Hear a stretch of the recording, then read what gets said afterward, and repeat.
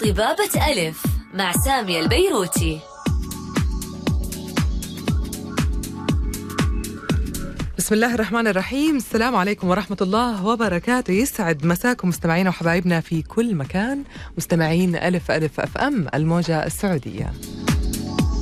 أرحب فيكم أنا سامية البيروتي بحلقة جديدة من برنامجكم الطبي. عيادتكم المسموعة برنامج طبابة ألف اللي يجيكم من الأحد للخميس من الساعة واحدة لاثنين الظهر. كيف تسمعوا حلقتنا اليوم؟ كيف تتعرفوا على موضوعنا؟ كل اللي عليك إنك تفتح الراديو اللي بسيارتك أو سيارتك أو تحمل تطبيق ألف ألف FM ال App Store أو Play Store أو زورنا على موقعنا مباشرة على www.alifalffm.com للمشاركة معنا في موضوع اليوم لطرح أي سؤال أو استفسار كل اللي عليك أنك تتواصل معنا من خلال الاتصال على 012 61 61 100 011 12 7 85 85 تقدر كمان تشاركني من خلال ال SMS على STC 851040 موبايلي 66 3 أصفار واحد وزين 70 13 13 تقدر أيضا تشاركنا من خلال هاشتاج طبابة ألف على تويتر. في هذه الساعة من طبابة ألف رح أتكلم اليوم في موضوع مهم وفي شيء مهم جدا. إن شاء الله كمان يكون في تفاعل كبير على حلقة اليوم لأنه في دائما تساؤلات حول هذا الموضوع تحديدا المستمعين. رح نتكلم عن الغدة الدرقية وطريقة عملها واختلال هرموناتها ومشاكل ممكن تصيب الغدة الدرقية من فرط أو قصور وأهم الأعراض المصاحبة لهذه الإصابات وطرق العلاج.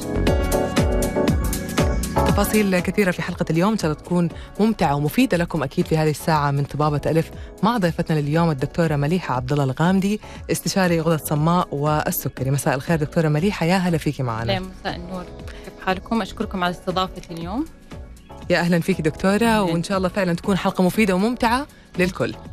بالنسبة للغدة الدرقية بداية دكتورة مليحة خلينا من خلال حضرتك نوضح للمستمعين وظيفة الغدة الدرقية مكانها وأهميتها. طيب طبعا الغدة الدرقية هي غدة موجودة في الرقبة وظيفتها أنها تهتم في العلامات الحيوية في الجسم فهي تهتم في الضغط تهتم في الوزن تهتم في العضلات في العظام وظائفها جدا كثيرة على الجسم. فاختلال الغدة الدرقية ممكن يكون في عندنا نقص فيها أو زيادة فيها. تمام. طيب حلو. دائما بنسمع يعني تختلف الأعراض من ناحية إذا كان في قصور وإذا كان في ناحية فرط في نشاط هذه الغدة. فخلينا نتفصل شوية في هذه الأعراض. إذا كان في فرط لنشاط الغدة الدرقية ما هي أهم الأعراض المصاحبة لهذه الإصابة؟ طيب إذا كان في فرط في الغدة الدرقية أهم حاجة أن المريض ممكن يشتكي من خفقان في القلب اضطرابات في الدورة الدموية اضطرابات في الدورة الشهرية كمان. ممكن يكون في ضغط ممكن يكون في عدم نوم توتر نقص في الوزن ممكن يكون في إسهال لا سمح الله. وكل هذه الأعراض يعني تخلي الواحد يشك إنه في زيادة في الغدة الدرقية. تمام. ممكن هذه الأعراض ما تيجي مجتمعه ممكن يجي فيها عرض واحد ممكن أحيانا؟ ممكن. في بعض المرضى يشتكوا بس من نزول في الوزن. من غير أي سبب لا في دايت ولا في رياضة وفي بس فقط نزول في الوزن تمام. في بعض المرضى بس يجيهم بس خفقان مه. فيعتمد على درجة ارتفاع الهرمون الغدة الدرقية تمام طب في نسبة طبيعية دائما الواحد لو بيشيك على هرمونات الغدة الدرقية بالنسبة للفرط أو الكسل هل في نسبة طبيعية المفروض فعلا تت يعني تتراوح بينها؟ أيوه أكيد في نسبة معينة ومن معمل لمعمل تختلف مه.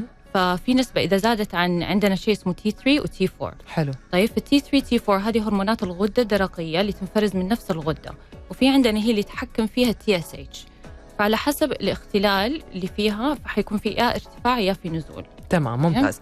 هذا بالنسبة لفرط نشاط الغدة الدرقية. فرط النشاط نعم. ممتاز. لو رحنا للمقابل طبعا اللي هو كسل الغدة الدرقية. طيب كسل الغدة الدرقية غالبا المرضى يشتكوا من خمول وتعب في الجسم ممكن تساقط شعر اختلال برضو في الدورة الشهرية يكون في زيادة في الوزن اللي هو من غير أنه أكل زيادة أو حاجة يحسوا ببرد في الأطراف إمساك فهذه كل الأعراض تخليني أشك أنه في احتمال إنه نقص في الغدة الدرقية. عشان كذا أحيانا الشخص لما يزيد وزنه فجأة أو ينزل فجأة دائما يقول لك شيك على الغدة الدرقية نعم،. أول شيء. طيب تمام. هنا هذه أهم الأعراض مستمعينا لوجود ممكن مشكلة في الغدة الدرقية. لما نيجي دائما ندور على الأسباب الإصابة في بعض الإصابات أو الأمراض بشكل عام دائما ندور في أول الأسباب هل في تاريخ عائلي هل في أسباب وراثية. فهل لها دور فعلا؟ نعم في الغدة الدرقية سواء كان فيها ال- ال- الزيادة فيها أو النقص فيها لها دور في التاريخ العائلي. ليه؟ لأنه في بعض الالتهابات اللي تحصل في الغدة الدرقية تكون نتيجة أجسام مضادة الأجسام المضادة هذه تحارب الغدة الدرقية فيكون في دائما في مثلا الوالدة أو العمات من جهة الأم فيكون في تاريخ عائلي هذا المرض تمام. نشوفها. طب هل في أسباب أخرى ممكن آه، كمان طبعا تكون في وراء؟ أسباب آم، عديدة. عندنا بالنسبة للكسل في الغدة الدرقية أكثر حاجة بنشوفها شيء اسمه هاشيموتوس ثايرويدايتس وهو التهاب في الغدة الدرقية نتيجة إنه الجسم بيحارب الغدة الدرقية فبينتج عن أجسام مضادة. وهذا أكثر نوع بنشوفه. في أسباب ثانية مثلا لو أحد عمل يود مشع للغده الدرقية أدى إلى كسلها أو شال الغدة الدرقية لأي سبب ما كان سواء كان جراحة بسبب سرطان أو لو كان في مثلا نتوءه في الغدة اضطرينا نشيلها. فهذه الأسباب اللي ممكن تؤدي إلى كسل الغدة الدرقية. تمام. نجي على النشاط. النشاط غالبا يكون التهاب سواء كان بعد الحمل التهاب في الغدة نتيجة فيروس أصابه. مهم. ممكن يكون برضو اللي هو ال- الأكثر حاجة بنشوفه شيء اسمه Graves' disease وبرضه هو ناتج عن الأجسام المضادة اللي بتحارب الغدة. تمام. عندنا كثير علاجات ممكن تأثر على الغدة الدرقية منها أدوية القلب. طيب. وعندنا آه، الاميودارون الأشعة لو عملنا أشعة قريب ممكن إنه يأثر على الغده الدرقية. تمام هذه أهم الأسباب أو الأبرز الأسباب للإصابة. طب هل أحيانا برضو أسلوب الحياة أو في شيء في حياتنا ممكن يأثر ممكن نصاب فيه من خلال؟ هو زمان كنا عندنا نقص اليود ال- فكان يعمل بنشوف حالات كثيرة كان زمان يعني قبل ما يكون اليود مضاف إلى الملح الآن لا. تمام لأنه اليود صار مضاف إلى الملح الطعام فما. كنا بنشوف في النقص سببه نقص اليود مهم. تمام ممتاز راح أذكر المستمعين أكيد بطرق التواصل معنا لو عندك أي سؤال أو استفسار أو مشاركة حول موضوعنا لليوم كل اللي عليك إنك تتواصل معنا من خلال الاتصال على 012 61 61 100 01 12 17 85 85 أو تشاركنا أيضا من خلال ال SMS على STC 851040 موبايلي 66 3 أصفار واحد وزين 70 13 13 وشاركونا أيضا أكيد على هاشتاج برنامج طبابة ألف على تويتر على طبابة underscore ألف. مستمعينا رح نكمل موضوعنا أكيد لكن بعد الفاصل خليكم مع السماع.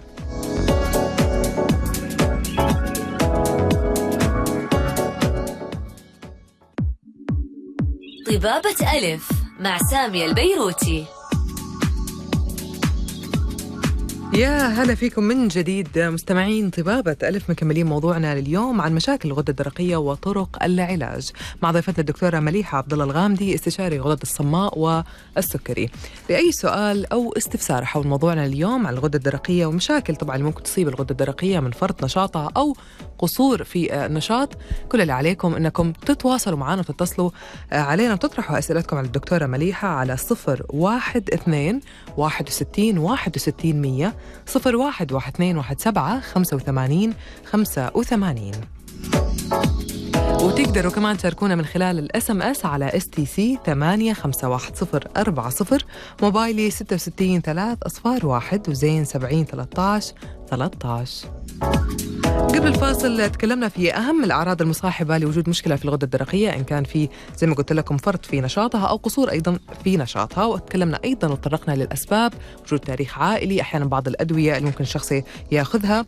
كثير من الأسباب ممكن تأثر وتلعب دور في الإصابة بمشاكل الغدة الدرقية. نروح على نقطة مهمة جدا. أنا دائما أؤمن بأنه هذه النقطة مهمة ليه؟ لأنه طرق التشخيص تلعب دور كبير في طرق العلاج. إذا كان التشخيص صح فالعلاج صح. دكتورة مليحة طرق تشخيص مشاكل الغدة الدرقية كيف؟ طيب طرق تشخيصها طبعا أول حاجة لما يجينا المريض على العيادة حناخذ منه التاريخ العائلي وتاريخ ال- الأعراض اللي هو بيشتكي منها. فإذا كان هو عنده آه، نقص في الغدة الدرقية حيكون بيشتكي زي ما قلنا من برد في الأطراف ممكن إمساك اضطرابات في الدورة زيادة في الوزن. ممكن آه، بعض هشاشة العظام كمان برضو تكون منها المشاكل منها فلما نشك إن المريض عنده حنفحصه طبعا وناخذ تاريخ آه، بال- بالأدوية اللي هو بياخذها وعند الفحص حنشوف الغدة الدرقية هل هي مضخمة هل في أي علامات إنه في نشاط في الغدة أو خمول في الغدة مهم. بعد كده ال- التشخيص اللي هو لازم يعني يحدد هل في نشاط أو نقص في الغدة الدرقية هو التحليل. تمام في التحليل نعتمد أول حاجة على تحليل اسمه ال TSH. ال TSH هذا تحليل دم يتعمل آه هو عبارة عن هرمون يخرج من الغدة النخامية اللي هي موجودة في الرأس. الغدة النخامية هي بتتحكم بالغدة الدرقية، الغدة الدرقية غالبا تفرز ال T3 و T4 مهم. اللي هم هرمون الثيروكسين اللي دائما نسمع عنه. هذا الهرمون بيروح على الجسم وبيعمل بال... زي ما قلنا العلامات الحيوية بي... بينظمها في الجسم فأول ما أشك إن المريض عنده المشاكل في الغدة نعمل ال TSH ال TSH حيحدد لي في أي مسار حمشي. فإذا كان عندنا ال TSH ناقص فنتوقع إنه في نشاط في الغدة الدرقية. لأنه عندما يقل ال TSH بالتالي ال T3 وال T4 حيكونوا مرتفعين. تمام. طيب؟ نفس الشيء العكس إذا كان ال TSH عالي فنتوقع إنه ال T3 وال T4 يقلوا تمام. ولكن هناك حالة اسمها بداية الكسل أو بداية النشاط. بحيث إنه ال T3 وال T4 يكونوا طبيعي ولكن الخلل في ال TSH. وهذا يكون بداية المرض إنه احتمال مع الوقت إن المريض يصاب بهذا المرض. تمام تمام؟ وفي حالات معينة نبدأ العلاج وفي حالات معينة نستنى على العلاج. تمام طيب. ممتاز. فمبدئيا أي تشخيص للغدة الدرقية لازم نعمل ال TSH اولا. على بناء على النتيجة حنطلب ال T4 وبرضه برضه ممكن نعمل اللي هو الأجسام المضادة اللي هي بالنسبة للفرط وبالنسبة للكسل. كمان طبعا نصاحبها بأشعة وعلى حسب إيش طلع التحليل ممكن نسوي أشعة للنشاط أو أشعة للكسل. ممتاز مم. جميل جدا حلو. خلينا نروح لاتصالات أيضا ونستقبل استفسارات المستمعين معنا أول اتصال في حلقة اليوم نوف. مساء الخير يا نوف. مساء الخير يا نوف. ألو؟ ألو. ألو. ألو مساء الخير. ألو. ألو. أهلا، السلام عليكم. وعليكم السلام. تعرفني بنفسك؟ أبو أحمد معك. أبو أحمد معاي الاتصال المفروض اللي بعده. هاي يا أبو أحمد تفضل. يلا دورك. الله يعطيكم العافية. الله يعافيك. يا هلا فيك. تفضل. الله يسلمك. أنا في عندي ضغط الدم وبستعمل حبوب العلاج لضغط الدم. وفي عندي برضو كمان آه، حبوب حق آه، تنظيم نبضات القلب. مهم. آه، أخيرا كنت أحس بالآلام في عضلات الأكتاف. ما أدري هي تأثر على الغدة الدرقية ولا ما تأثر. ما بعرف حاب اسال الدكتوره لو سمحت أيوه أهلين طيب بالنسبة لآلام الجسم ممكن تكون آه، طبعا عرض من أعراض الغدة اللي هو الخمول. أو النشاط بس ممكن غالبا تكون من فيتامين د فهل في أعراض ثانية زي آه، زيادة في الوزن؟ لا ما الاتصال أتوقع راح okay. مننا. طيب فإحنا نشوف ال... نشوف الأعراض الثانية. هو الآلام في الجسم ما هي specific للغدة. تمام. ولكن يعني لابد ممكن نفحصها خاصة إذا كنت بتاخذ علاج زي ما تفضلت ممكن يأثر على الغدة الدرقية. فنحتاج إنه نعرف العلاج بالضبط إيش اللي بياخذه فممكن أي بعض العلاجات تؤثر زي علاجات القلب علاجات بعض الضغط. ممتاز. جميل. خلينا نروح للاتصال اللي بعده. الآن معنا نوف. مساء الخير يا نوف. راحت من نوف أيضا. خلينا نروح للاتصال اللي بعده من نزار. مساء الخير يا نزار. السلام عليكم. وعليكم السلام. إن شاء الله. ويسعدك. يا هلا فيك. تفضل. آه، حبيت أستفسر من الدكتور عندي الغدة الدرقية. والله متعبتني و... والدكاتره متوهيني والله. وماني عارف أي طريق أمشي. يعني حابة استشارة الدكتور. الله يسعدها. تفضل نزار. المجال هذا. الله يسعدك. أنا يا دكتورة وزني زاد قبل فترة زاد أي قصدي نقص نقص نقص يعني زيادة عن الطبيعي ومرة. ورحت حللت قالوا لي عندك نشاط في الغدة. أيوة. فبعدين ما ادوني علاج قالوا لي بسوي لك آه، يعني نام كويس وزي كذا وبعدين آه، رجع وزني زاد. انتفخ انتفخ. سوينا تحليل الغده قالوا الغدة عندك نشطة. ووزني زايد كمان يا دكتوره نشطة. ودوني. حبوب حق ال- ال- ال- الحبوب حق نشاط. الغدة المعروفة. أيوة. وذا الحين يا دكتوره لي يمكن أسبوع أسبوعين عندي ضغط الدم بدأ يرتفع. هذه واحدة من الأعراض هل- نشاط الغدة. أي. نعم. إذا ما كانت أيوة. إذا ما كانت في ال في normal range اللي هو الطبيعي فممكن يرفع ضغط الدم فعلا. طيب أنا عندي التحاليل هنا اللي هو ال FT 4 يا دكتورة واحد على ستة. أها. ال FT 4 أيوة. ال T 4 ال T 4 قصدي. لا أي أيوه ال T 4 واحد على ستة. مهم. والثري ثلاثة على تسعة. ثلاثة على تسعة. ثلاثة على تسعة. أيوة. وال TSH؟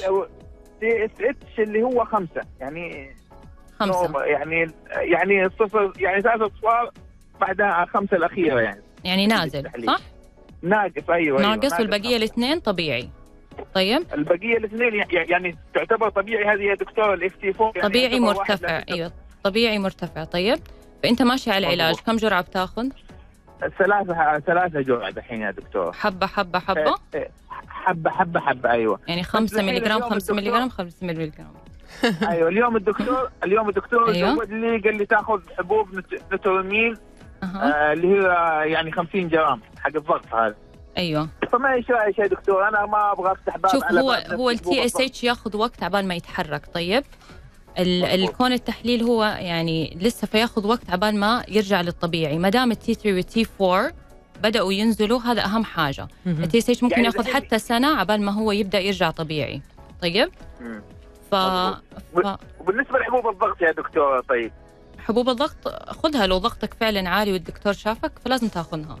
تمام. طيب طيب، ممكن تتابعنا في العيادة بالتحاليل حقتك مع اشعاعاتك واعطيك شوية آه، وقت عشان نتكلم أكثر إن شاء الله. إن شاء الله. طيب أخ- طيب، شكراً لك. قدامك العافية إن شاء الله. آه، آه، الله يسعدك. أنا ينفع أخذ الرقم حق العيادة وعنوان العيادة؟ أيوة، يدوك أكيد بعدين إن أكيد. شاء الله. دكتورة مليحة عبد الله الغامدي موجودة في مستشفيات الدكتور سليمان فقيه في مدينة جدة تحديدا. فتقدروا أكيد تزوروها وتقدروا تاخذوا مواعيد عندها وتقدروا أكيد تستشيروها في آه، إن شاء الله طبعا المرض اللي بتتكلم عنه. إن شاء الله الله يشفيكم جميعا. مستمعينا كمان نروح الاتصال اللي بعده نوف رجعت لنا السلام نوف عليكم. مساء الخير يا نوف. مساء النور. يا هلا فيك تفضلي. هلا وغلا. دكتورة شو أخبارك؟ إن شاء الله الحمد. لله الله يسعدك نوف تفضلي. الله يسعدك. دكتورة قبل تقريبا ستة شهور فجأة زاد وزني زيادة مو طبيعية. ويجيني خمول نوم أيوه. فقالوا لي الناس طبعا تشخيص روحي يحللي احتمال الغدة. مهم.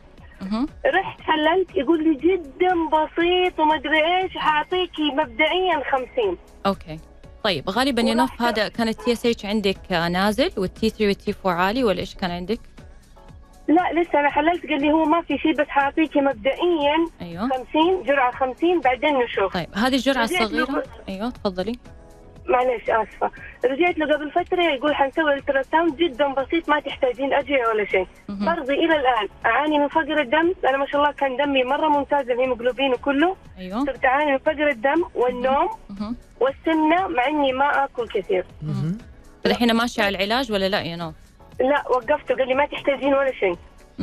فيمكن هو البداية كان بداية كسل اللي تكلمنا عنه إنه يكون ال TSH شوية مرتفع وال T 3 وال T 4 يكونوا طبيعي فهذه الوقت نبدأ جرعات بسيطة زي ما تفضلتي 50 ولا 25 فمع المتابعة آه نتابع المريض في احتمال إنه هو يتحول لكسل وتترفع الجرعة. بس كون الدكتور عدلك ووقف العلاج أنا ماني عارفة ليش ف... فممكن ممكن نشوفك بعدين ونشوف إيش الموضوع. بس ممكن الأعراض الثانية اللي عندك فيتامين د طيب ناقص فهذه تعمل الآلام.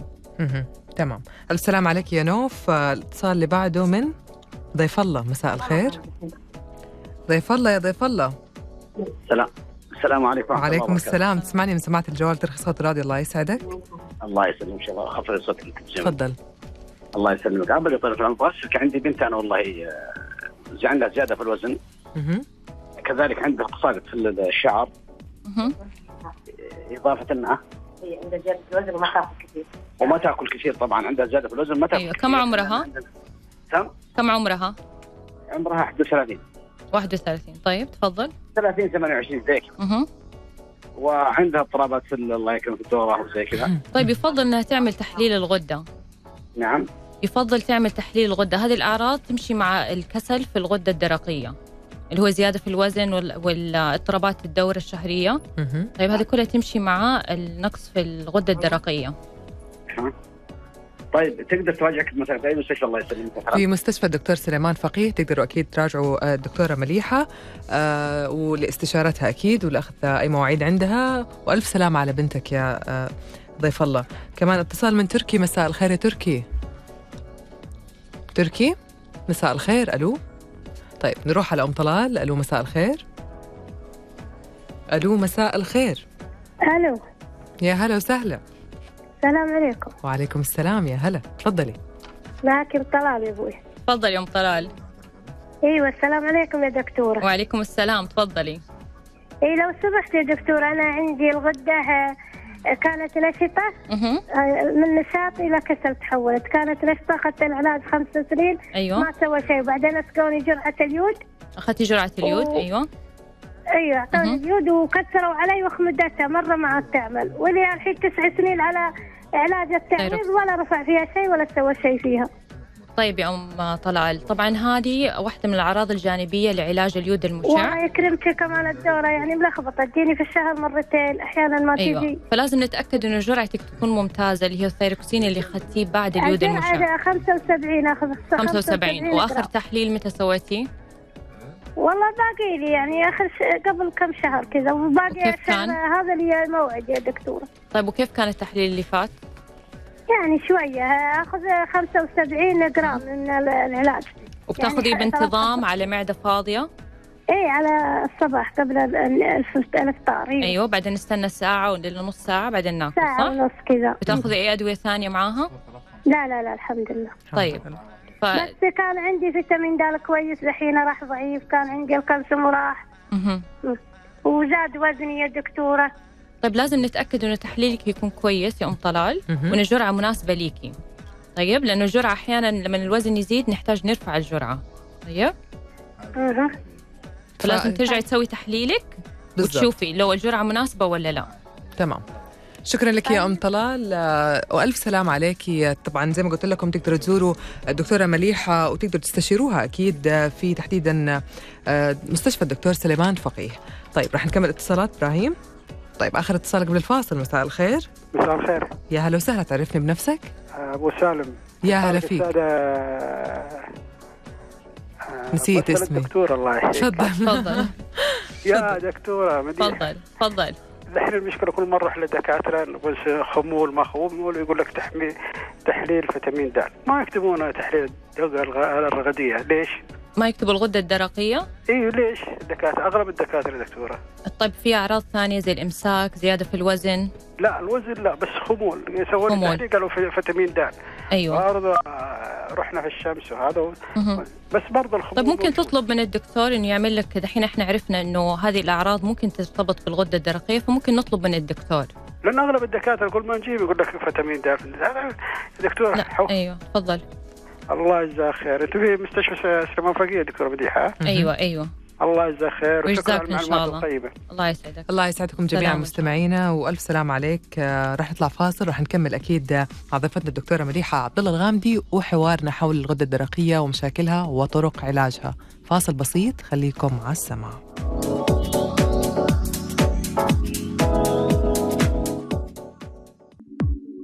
طبابة ألف مع سامية البيروتي.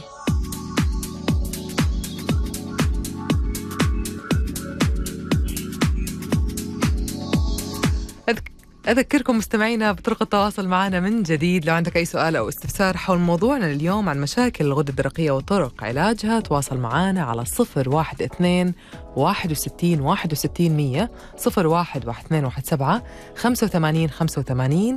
لو عندك أي استفسار أو سؤال حاب تطرحه على ضيفتنا الدكتورة مليحة عبد الله الغامدي استشاري غدة الصماء والسكري في مستشفى الدكتور سليمان فقيه.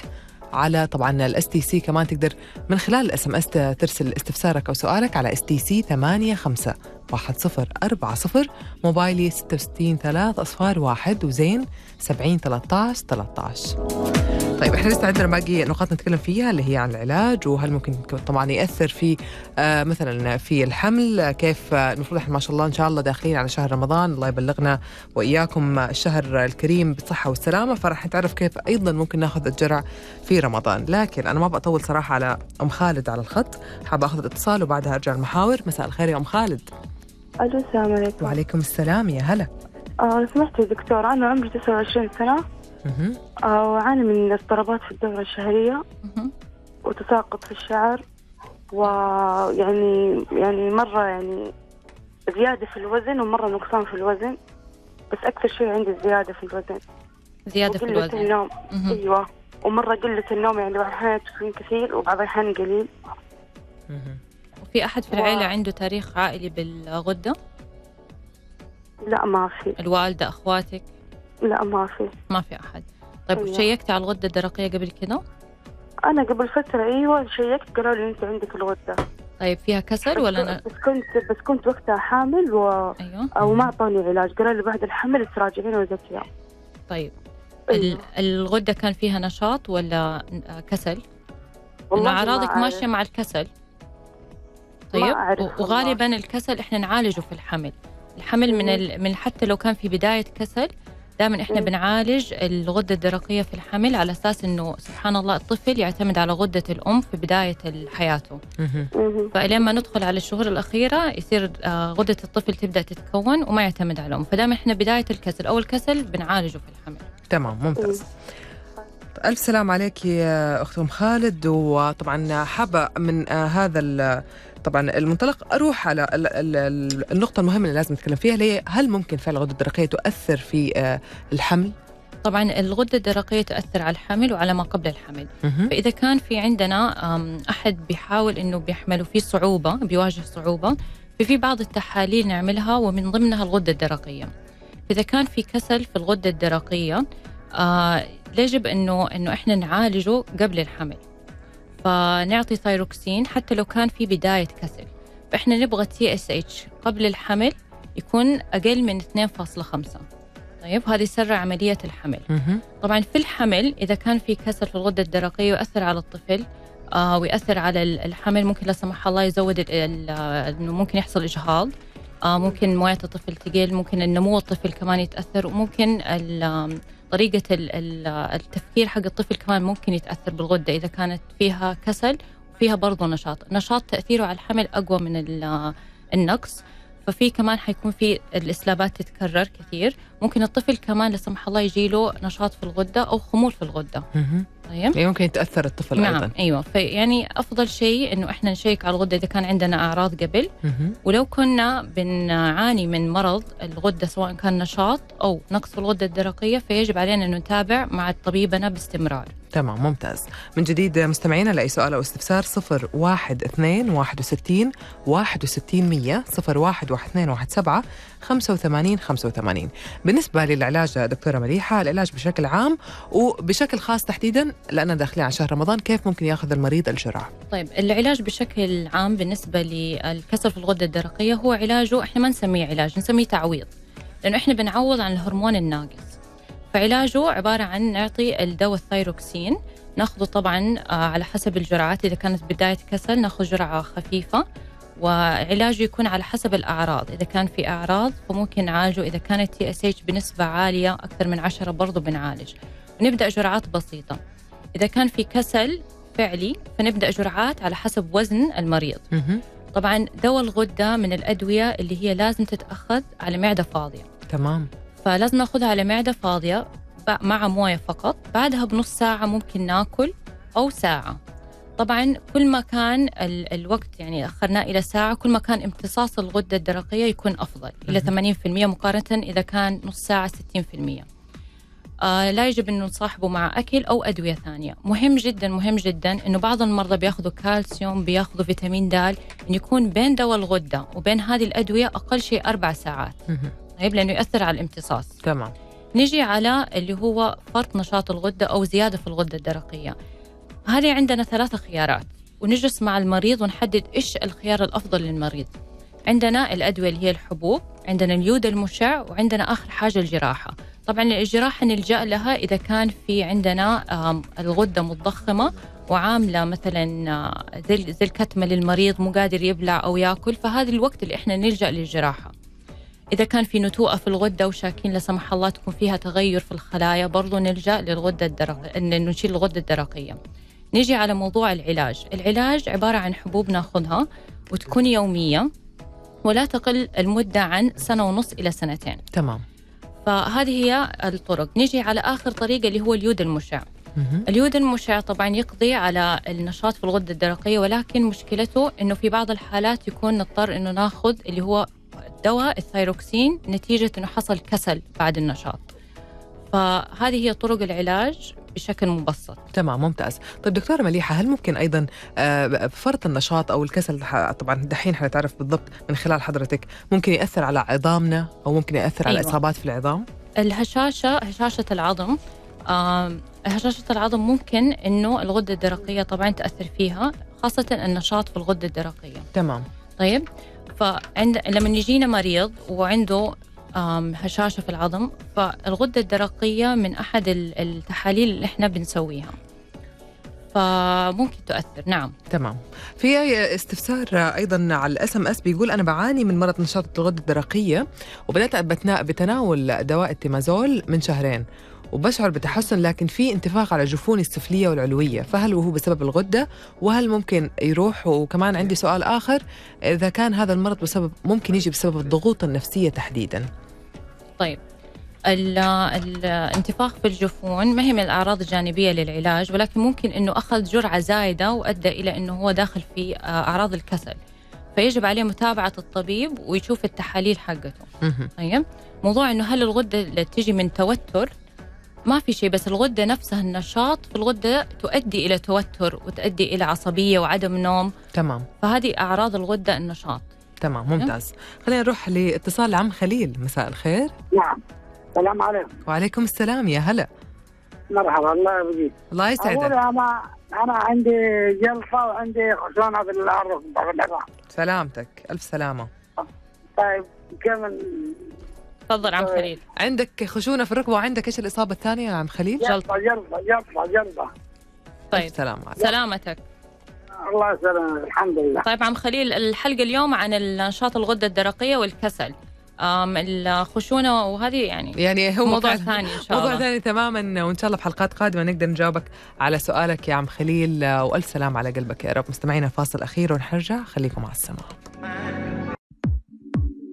طبابة ألف مع سامية البيروتي. لأي سؤال أو استفسار حول مرض الغدة الدرقية أو أمراض أو مشاكل الغدة الدرقية آه، طبعا والعلاج تواصلوا معنا على 012 61 61 100 01 12 17 85 85 لأي سؤال أو استفسار عبر ال SMS على STC 851040 موبايلي 66 3 أصفار 1 وزين 70 13 13 قبل الفاصل دكتورة مليحة قالت لنا عن آه، طرق العلاج بالنسبة ل آه، طبعا مشاكل الغدة الدرقية. طيب بالنسبة لشهر رمضان تحديدا دكتورة مليحة كيفية أخذ الجرع في شهر رمضان؟ طيب كل سنة وأنتم طيبين إن شاء الله داخلين على رمضان وهذا سؤال مرة مهم. طبعا الغدة الدرقية من الأدوية اللي بعض المرضى يلاقوا صعوبة فيها إنه يأخذوها على معدة فاضية فبتحصل إن هم ما بيأخذوا الجرعات بشكل مناسب. مهم. فأفضل وقت ناخده إنه عند الفطور. يعني ناخذ حبتنا ممكن معها تمرة وموية. نقوم نصلي بعد كذا ممكن نفطر مع الأهل. إذا المريض ما حب إنه ياخذها وقت الفطور ممكن عادي نفطر. بعدها بأربع ساعات على معدة فاضية ناخذها ونستنى نص ساعة تمام. وناخذها. في بعض الطرق الثانية اللي ممكن ناخذها عند السحور. طيب؟ وزي كذا مهم. ممتاز. إذا بهذا التسلسل تحديدا. أيوة. جميل. نروح لاتصال أبو ماجد. مساء الخير يا أبو ماجد. مساء النور دك... كيف حالك أختي؟ يا هلا وسهلا فيك. تفضل. ممكن اكلم الدكتوره تفضل تفضل. آه، دكتورة كيف حالك؟ الحمد لله الله يديك العافية. تفضل. دكتورة حر... زوجتي عندها غدة درقيه نشطه طيب هل لها علاج غير العمليات ولا؟ أيوه زي ما تفضلنا وقلنا عندنا ثلاثة طرق. طبعا نجلس مع المريضة ونتكلم معها ونشوف إيش الطرق الطريقة اللي تناسبها. عندنا الحبوب وعندنا موضوع اليود المشع وعندنا آخر حاجة الجراحة وما نلجأ للجراحة إلا لو كان في آه ضغط على القصبة الهوائية أو على البلعوم إنه بيمنعها إنها تاكل أو عامل لها ضيقة. طيب؟ أو لو هي حبت تشيلها إنه كبيرة ومو عجبتها طيب؟ ففي عندنا الحبوب وعندنا اليود المشع. طيب هل آه، ال... ال... ال- اطراف رجولها تكون باردة؟ هل من غده الدرقية نفسها ولا؟ الأطراف الباردة تكون آه، واحدة من الأعراض الجانبية للغدة لما تكون فيها كسل وليس نشاط. لا عادي عندها غده نشاط. طيب ممكن يكون عندها الدم نازل الأنيميا. طيب. هذا ممكن يسبب البرودة. تمام. مم. أيوه. طيب شكرا ألف سلام عليها يا أبو ماجد. شكرا سلام إن لك شاء الله. في أيضا استفسار على الإس إم إس بيقول أنا عملت عملية جراحية للغدة الدرقية من ثمانية سنوات والآن ظهرت لي الغده مرة ثانية. فهل ممكن دكتورة مليحة إن الواحد ترجع له اصابه مرة ثانية؟ أيوة. يا ريت استفسر إيش قصده آه رجعت مرة ثانية. وهو شال الغدة الدرقية. مهم. فكون إنه إحنا شلنا الغدة الدرقية وعرضنا إنه إحنا يصير عندنا خمول في الغدة الدرقية. فهذا قصده أنا ماني تمام حرجع أطلب منه لو حاب يرسل استفسار، آه، إيه. استفساره بشكل أوضح طبعا على STC 851040 موبايلي 66 3 أصفار واحد وزين 70 13 13 طب بالنسبة للاكلات دكتورة آه، في استفسار هنا حول موضوع اليود المشع والى آخره. آه، في الاستفسار بيقول هل طب في حال الشخص كان بيتداوى أو بيتعالج باليود المشع المفروض إنه يبتعد عن الأكلات اللي ممكن يكون فيها يود؟